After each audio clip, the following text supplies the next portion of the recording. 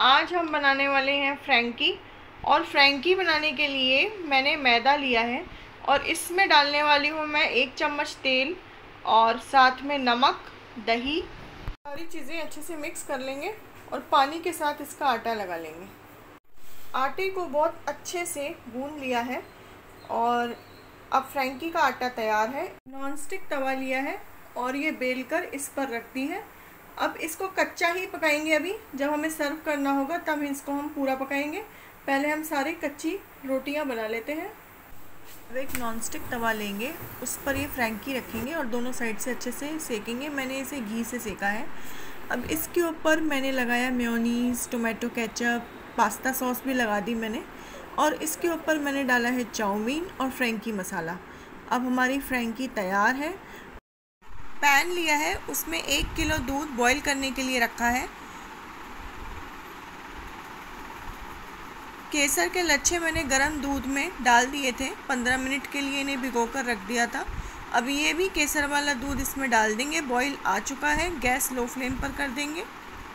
और इसके अंदर डालेंगे चीनी और इलायची पाउडर और इसको आधा होने तक पकाएँगे। ये देखिए, बहुत बढ़िया कलर आ चुका है। और अगर इसमें आप येलो कलर डालना चाहें तो डालें, नहीं तो अवॉइड कर सकते हैं। मैंने थोड़ा सा डाला है। इसकी कंसिस्टेंसी देखिए परफेक्ट है। अब प्लेटिंग कर लेते हैं रसमलाई में। जो है, रसगुल्ला मैंने पहले ही बना लिया था। तो इसका मैं जो है, सिरप पूरा निकाल दूँगी और इसमें प्लेट करेंगे। ऊपर से डालेंगे दूध। पिस्ता से गार्निश करेंगे। रसमलाई तैयार है। आज हम बना रहे हैं चने की दाल के चावल। और चने की दाल को मैंने धोकर, भिगोकर रख दिया था।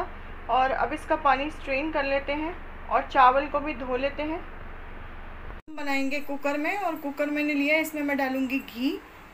गरम हो जाए, उसके बाद हम इसमें डालेंगे जीरा और जीरा को हम करेंगे क्रैकल क्रैकल हो चुका है, अब इसके अंदर डालेंगे चावल और दाल। अंदर डालेंगे हल्दी पाउडर, नमक, लाल मिर्च। अंदर पानी डाल दिए कुकर का ढक्कन लगा देते हैं और दो सीटी हाई फ्लेम पर आएँगी, फिर हमारे चावल तैयार हो जाएँगे। देखिए, चावल बनकर तैयार है। आप ये मेरी रेसिपी को फॉलो करना। आज हम बना रहे हैं काले चने की सब्ज़ी, और काले चने को मैंने वॉश करके रात भर भिगो कर रख दिया था। और अब इसको बना लेते हैं। कुकर में बनाएँगे इसको, और इसमें डालेंगे नमक। आधे घंटे के लिए लो फ्लेम पर हम इसे पकाएँगे, जब तक चना ना गल जाए। चना गल चुका है। बहुत अच्छे से ये बॉईल हो चुकी है। अब इसको जो है हम फ्राई पैन लेंगे और तड़का लगाएँगे। घी डाला है, हींग डाली है, जीरा, देगी लाल मिर्च लाल मिर्च और तड़का चने में डाल दिया है। ये देखिए दोस्तों, ये कितनी टेस्टी बनी है सब्ज़ी। और आप ये रेसिपी ज़रूर फॉलो करना।